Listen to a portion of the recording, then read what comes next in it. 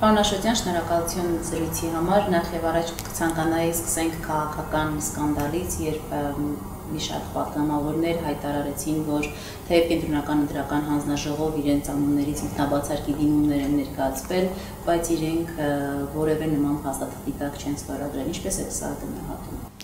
Դեք, եթե գնահատականը պետք է իրավական տրվի, ապա կարծում եմ պետք է դիմել պատկան մարմիններին, որոնց արձագանքը նախնական որքանով որ ես տեսել եմ, չի ենթադրում այս գործընթացի մեջ որևէ հետևանք Քաղաքական տեսակետից կարծում եմ ճիշտ է դիտարկել որպես ներկուսակցական կամ ներդաշինքային գործընթաց, իսկ ուրիշի տուն, ուրիշի օջախ հարևանները որպես կանոն չեն մտնում այս տեսակետից կարծում եմ սա ամբողջությամբ Ծառուկյան դաշինքի իրենց անդամների, տեխնացուների, իրենց անդամ կուսակցությունների ներքին գործն է։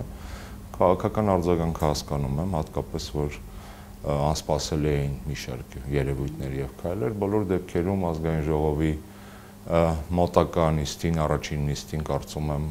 քաղաքական ստատուս կոն կամրագրվի եւ գործընթացները քաղաքական կտեղափոխվեն բացառապես խորհրդանական ձևաչափ։ Պարոն Աշտյան, սա քաղաքական մշակույթի դեգրադացիայի արտացոլումը չէ։ Գիտեք, մենք անկախ այս դեպքից, հա, դիտարկենք ընդհանուր տեսական հարթության մեջ, ունենք քաղաքական կայացող մշակույթներ։ Նկատի ունեմ սա մի բան է, որը Ուզում եմ ասել, ուզում եմ ասել, հանրապետականում հանրապետականում երբեք չի եղել նման բան։ Ես 2003 թվականի ընտրություններից առաջադրվում եմ կամ մասնակցում եմ խորհրդանական ընտրություններին մեր կուսակցության ձևաչափով 2003-ից ՀՀԿ ցուցակի մեջ եմ եղել բոլոր խորհրդարանական ընտրություններին մեզ մոտ նման գործելավոճ, նման մշակույթ չկա։ Ձեզ երբեք չեն ասել ցուցակում կաք, բայց անպայման նախապես ստորագրեք թղթեր, որ հետո հրաժարվեք։ Կարծում եմ մեր մամլոխոսնակի Էդուարդ Շարմազանովի հայտարարություններն եք լսել, այլ հանրապետականների մեկնաբանություններն եք լսել եւ տեսել եք որ մեզ հետո նման հրահանգ լինի ասենք կուսակցության ղեկավարի Սերժ Սարգսյանի կողմից կընթացվի հանրապետականում թե նույնպիսի դեմարշ կլինի ինչպես տեղի ունեցավ Ծառուկյանի դեպքում դա հրահանգի հարց չէ, դա քաղաքական որոշումների հարց է։ Ձեր համար ընդունելի է, որ երբ որ падգամավորը ժողովրդի քվե է ստացել 4-5000 ձայն է ստացել, կուսակցության ղեկավարը կանչում է ասում է, որ գիտես ինչ պետք է հրաժարվես այդ մանդատից, ես չեմ ուզում, որ դու լինես խորհրդարանում։ Սա ձեր համար Մեր կուսակցությունում նման մոտեցում չկա, իսկ այնտեղ որտեղ նման մոտեցում են կարձանագրում, կարծում եմ ճիշտ կլինի իրենցից տեղեկանալ ընդունելի է դա իրենց կուսակցությունների կամ դաշինքների համար թե ոչ։ Պանաշոցյան տեսակետ կա, որ այս ինքնաբացարկի դիմումներից հրաժարված եւ падգամավորական մանդատը անկախ իրենց կուսակցության կամ դաշինքի ղեկավարի ցանկությունից վերցրած падգամավորները, եթե ճանենային հանրապետականի տվյալ դեպքում Սերժ Սարգսյանի աջակցությունն, ապա նման ռիսկի չէին գնա եւ այսպիսի դեմարշ չէին իրականացնի Գագիկ Ծառոկյանի դեմ։ Այսինքն տեսակետներ կան, որ այստեղ հանրապետականի մատը ամեն դեպքում խառն է գիտեք, ի տարբերություն մեր որոշ ընդդիմադիր գործընկերների, մենք չենք զլանում միևնույն հարցերին 100 կամ 500 անգամ պատասխանել, ուստի եւ ձեր հարցն եմ ընկալում որպես հարցադրում, բայց պատասխանել շատ կանխատեսելի է եւ իրականություն է։ Հանրապետականը այլ կուսակցությունների ներսում մատ երբեք չի խառնել եւ չի խառնում եւ դա գիտեք երբ որ խոսում ենք էլի կայացման մասին քաղաքական համակարգի նաև լրագրողական վերլուծական դաշտի, եթե չասեմ թերություններից, ապա խնդիրներից մեկն է, որ ամենահեշտ տարբերակը նյութ սարքելու, հա, կներեք բառիս համար վերլուծություն գրելու, գտնել մի հերոսին, որին միշտ կարելի է վերագրել ցանկացած արարք։ Այս տեսակետից գուցե դա հանրային ընկալման մի հատվածի մոտ, հա, հանրության մի հատվածի մոտ պահանջված վերսիա լինի ցանկացած պարագայում, հա հանրապետականի մատը փորձում են տեսնել ամենուրեք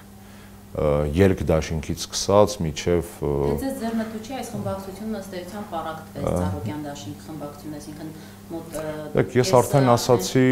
նախ կանխատեսումները անշնորհակալ գործ են այս տեսակետից, որովհետև անգամ այսօրվա լրահոսին որքանով որ հասցրել ենք նայել, վստահ եմ դուք եք նայել,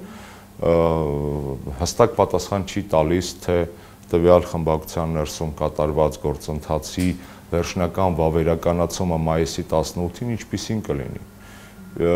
Մենք աշխատելու ենք խորհրդարանում միասին 105 падգամավոր քաղաքական համակարգի կայունության տեսակետից իհարկե կարևոր է որպեսզի падգամավորները ներկայացնեն հասարակության այս կամ այն շերտերը այսինքն չառաջանա խորհրդարանի եւ հասարակության միջև փոս խոր փոս, երբ որ խորհրդանը չի ներկայացնում հասարակությունը։ Դա լինում է որպես կանոն ընդդիմության պատճառով։ Եվ իշխանության հատվածը պրոիշխանական ուժերին, պրոիշխանական էլեկտորատը քաղաքացիներին իշխանություն շարունակում է ներկայացնել քաղաքական խնդիրներ առաջանում են մեր համակարգում Հայաստանում հատկապես այն ժամանակ, երբ որ խորհրդարանական ընդդիմությունը դադարում է լինել ընդդիմադիր էլեկտորատի մտքերի, ցանկությունների,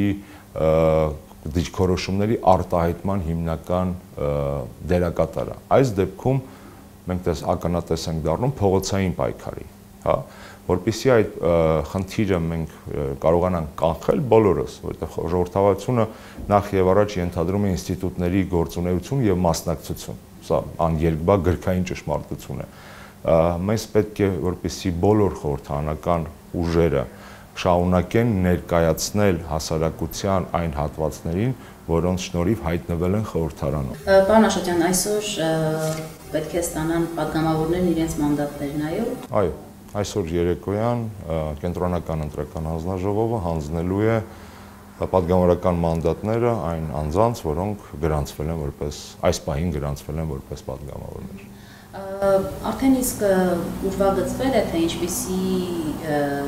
պաշտոնների բաշխում տեղի կունենա, ով է ի վերջո լինելու ազգային ժողովի նախագահը, փոխնախագահներն ովքեր են լինելու նկատի ունեմ իշխող հանրապետականի դեպքում, խմբակցության ղեկավարն ով է։ Պահպանելով ինտրիգը, ասենք, որ տվյալ հարցադրումները իրենց հանգուցալուծումը կարող են ստանալ որպես քաղաքական որոշումներ առաջին նիստից մի քիչ առաջ իսկ առաջին նիստով պետք է ազգային ժողովը նաև քվեարկի այդպես ինչպես կորոշի քաղաքական մեծամասնությունը Հանրապետականը դեռ չի որոշել իր ներսում ով է լինում։ Չէ, դուք գիտեք որ գիտեք որ չի որոշել։ Եվ ոչ միայն այս հարցը չի քննարկվել եւ որոշված չէ, այլ նաեւ առասարակ մնացած բաշխումներն։ Բազմաթիվ անուններ շրջանառվում են, այդ թվում նաեւ իմ ընկեր Էդուարդ Շարմազանովի իմ այլ ընկերների Հանրապետական խմբակցությունը ունի 58 պատգամավորներ նոր խորհրդարանում եւ կարծում եմ որ 58-ի անուններն էլ արժանի են շրջանառվելու այս կամ այն քաղաքական պաշտոնի հետ կապված։ Դե խոսում է, որ խմբակցության ղեկավարի պաշտոնը հենց դուք եք զբաղեցնելու սա մոտ է։ Ես որ ասացի 58 падգամավորների անուններ են շրջանառվում տարբեր եւ կարող են շրջանառվել, նաեւ նկատի ունեի իմ համեստ անձը։ Ցանկալի պաշտոն է դեզ համար խմբակցության ղեկավարի պաշտոնը։ Չեմ զբաղեցրել որևէ պաշտոն այս տարիների ընթացքում, որի մասին մտածելու երազել եմ այսինքն կա քաղաքական որոշում, այդ որոշումները կյանքի կոչելու կարգապահություն եւ անձնական հնարավորություններ ծառայելու այդ պաշտոնում այս գործի վրա։ Պարոն Աշոտյան, անդրադառնանք ավականո ընտրություններին, մյուս շաբաթ արդեն տեղի կունենան,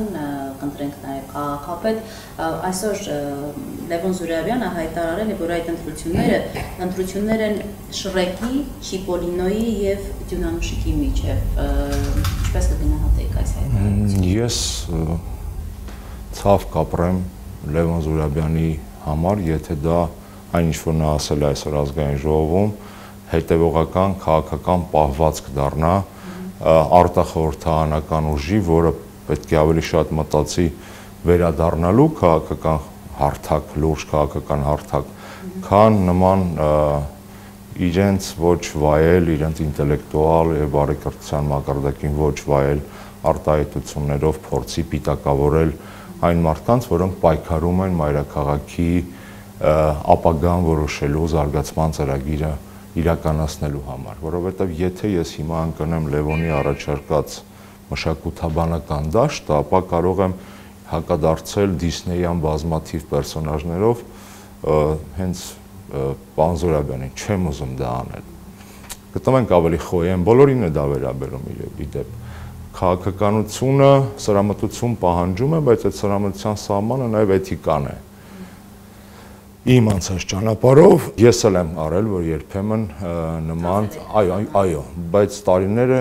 տարիների ընթացքում իմաստություն, փորձ եւ կոփվածք եմ ձեռք բերել, որpիսի դա չդարձնեմ գործելավոճ։ Եթե մեր պարագայում մեր ներքին բարեկրթության ու քաղաքական մշակույթի վեկտորը ակնհայտորեն պոզիտիվ է, ես կուզենամ որ այն պոզիտիվ լինի նաև մնացած քաղաքական գործիչների համար, որոնք զերծ մնան գայթակու նման գայթակություններից։ Ամեն դեպքում նա հավելել է, որ թեև Շրեկը եւ Չիպորինը դյունանուշիկն են իրար հետ մրցում, բայց հաղթելու է մուլտիպլիկատորը այստեղ նկատի ունենալով Սերժ Սարգսյանին, որի վերջը նա է որոշել։ Դե, գիտեք, ձեր նախորդ հարցերից մեկին անդրադառնալով, եթե մուլտիպլիկատոր կա մեր երկրում, ապա ինքը բոլոր անիմացիոն պերսոնաժների մեջ իր մատը խառը պետք է լինի։ Այդ դեպքում հարցնեիք Լևոն Զորաբյանին, բա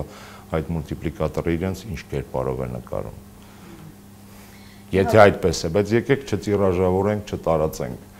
այս այս ձևի մշակույթը եկեք չտարածենք, որովհետև դա լավ չի, դա քաղաքական մշակույթի տեսակետից լավ չի, դա հասարակության համար լավ չի։ Պարոն Աշոտյան, մի քանի հարցադրումներ կարճ անդրադառնանք դրանց։ Երկիր Ծիրանի կուսակցության քաղաքապետի տեխնացուն Զարե Փոստանջյանը բարբերաբար բարձրացնում է Տարոն Մարկարյանի հսկայածավալ հարստության հարցը ձեր քաղաքապետի տեխնացուի, նշելով, որ նա պետք է դեմարդեմ բանավեճի գա եւ պատասխան տա, թե որտեղից է կուտակել այդ միլիոնավոր դոլարները։ Ինչու Տարոն Մարկարյանը ի վերջո չի փորձում տալ այս հարցի պատասխանը, որպեսզի նաեւ հանրությունն էլ իմանա։ Ես մի քանի տվյալ ներկայացնեմ. 2016-ին նա հայտարարել։ Դուք բարբերաբար դա անում եք եթերում, ես մի անգամից անցնեմ պատասխանի։ Տարոն Մարկարյանը բազմաթիվ իր հարցազրույցներում քարոզարշավի ընթացքում այս հարցին անդրադարձել է ու նորից կրկնեմ. Ի տարբերություն հստակ նշված է հայտարարագրերում եւ այլն ի տարբերություն մեր քաղաքական անդիմախոսների մենք հետեւողականորեն եւ ամփերատար պատասխանում ենք 1000-րդ հա, անգամ հնչած հարցերին չենք բորբոքվում չենք վիրավորում չենք ասում որ չենք սպառնում չենք շանտաժի ենթարկում չենք գորգռում հանգիստ պատասխանում ենք համբերատար։ Ինչ վերաբերում է Տիկին Զարոյի Փոստանջանին, ամեն մեկը իր քարոզարշավը յուրովի է անում։ Ես որպես մարդ, հայ մարդ, մի բան պետք է ասեմ, որ ինձ համար ընդունելի չէր Զարոհու պահվածքի մեջ, վստահ եմ իր համար էլ ընդունելի չէր, որովհետև իր կեցվածքը, իր խոսքը, իր աչքերը, երբ որ նա հայտնվեց Մարկարյանների ընտանիքի տան դռան դեմը, հուշում էր, որ դա իր սրտով էլ չէր։ Ես խնդրում եմ այլևս նման քաղաքական մշակույթի տարեր մենք Հայաստան չներմուծենք, որովհետև այնուհանդերձ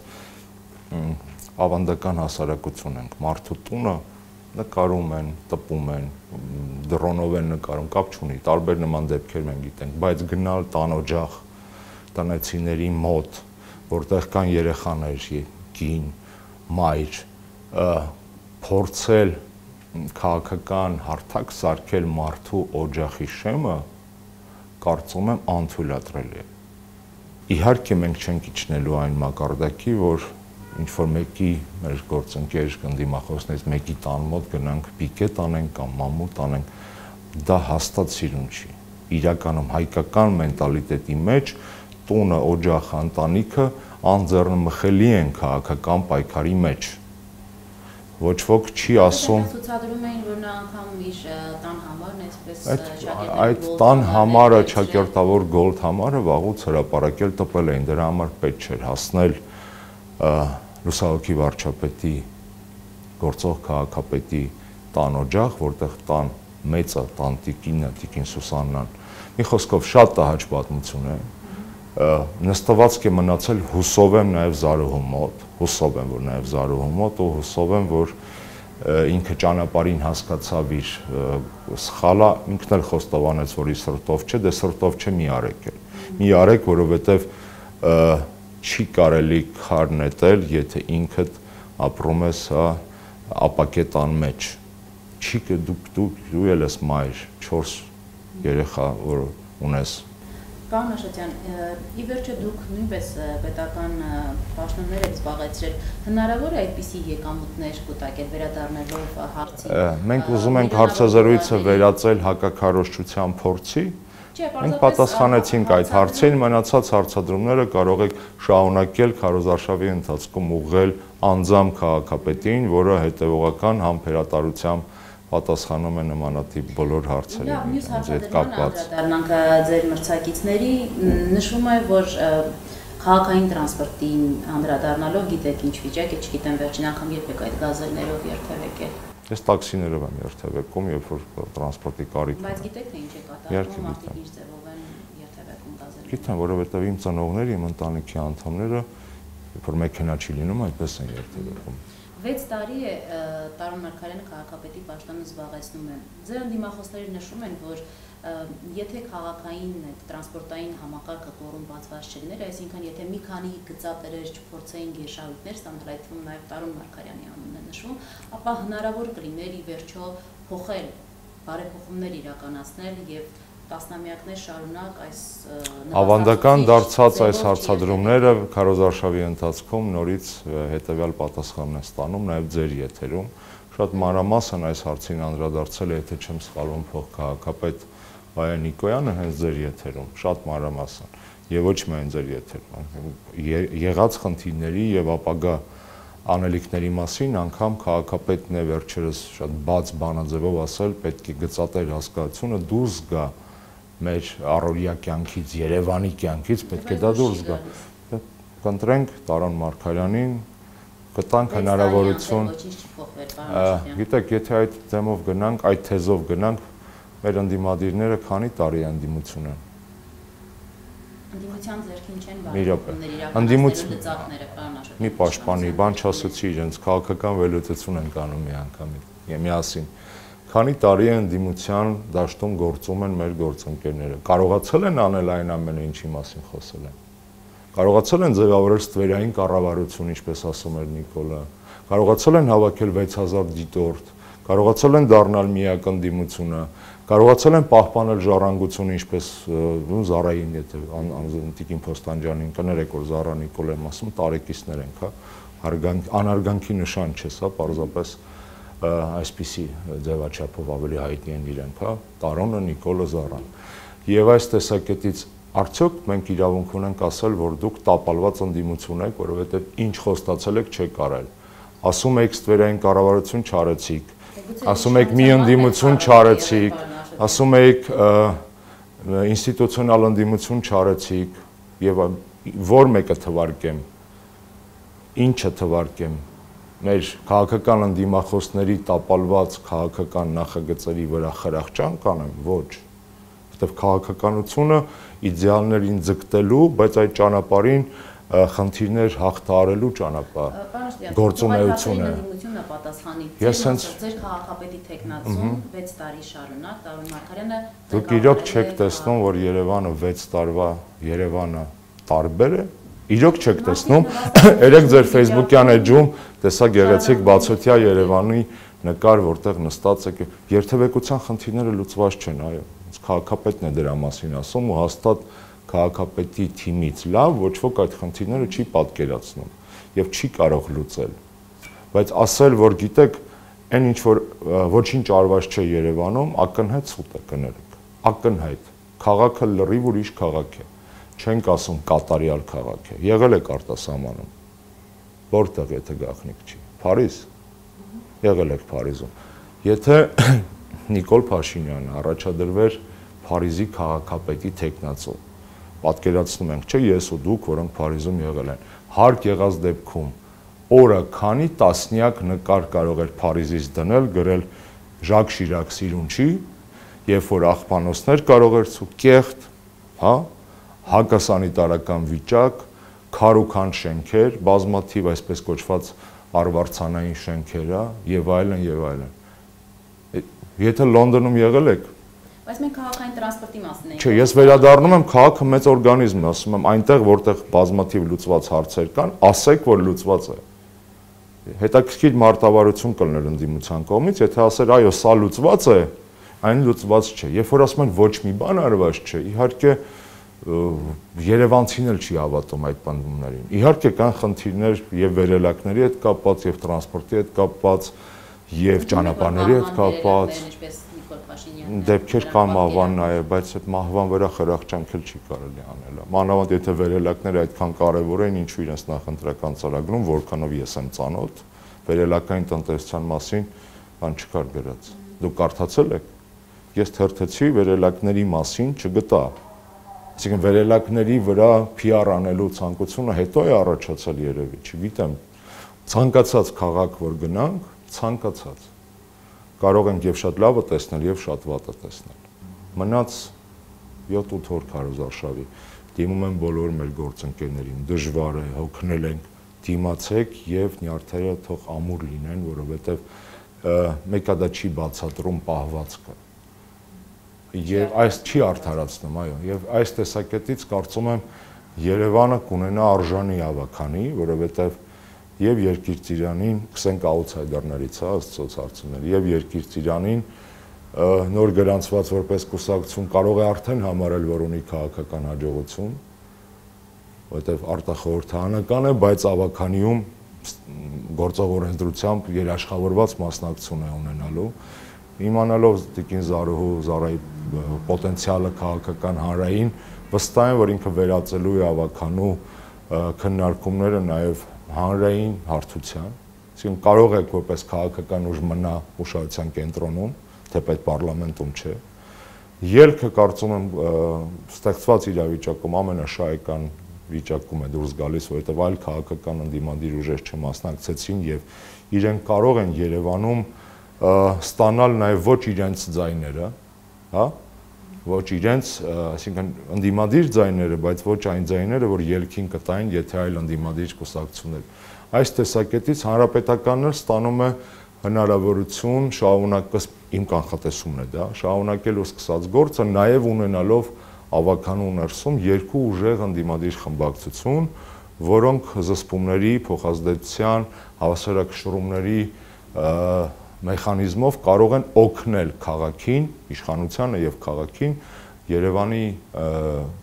բոլոր ոլորտներում արցանագրել ավելի տեսանելի հաջողություններ։ Շնորհակալություն։ Շնորհակալ եմ, ուզում եմ նաև առիթից օգտվելով շնորհավորել մեր մայիսյան տոները, հաղթանակի տոները, որովհետև կան բաներ, որոնք մեզ ավելի են միավորում, քան մեզ թվում է։ Դա ընդհանուր հայրենիքի, ընդհանուր անցյալի, ընդհանուր ներկայի ու ընդհանուր ապագայի զգացողություն է, որ տալիս են